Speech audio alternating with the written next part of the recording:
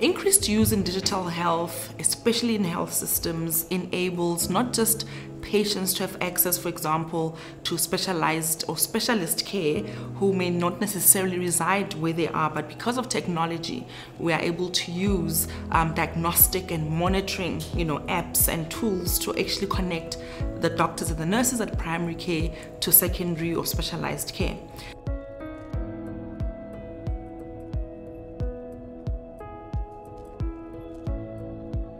Children are not able to access vaccinations. Women who are in the birthing, perinatal, postpartum uh, uh, uh, period are unable to access services or in some cases they are detained in hospitals because they cannot afford. And so there's a particular way in which we can use technology to give information to those people, to map the nearest available providers who can take care of their needs without necessarily getting them exposed constantly to discriminating practices that are happening in facilities communities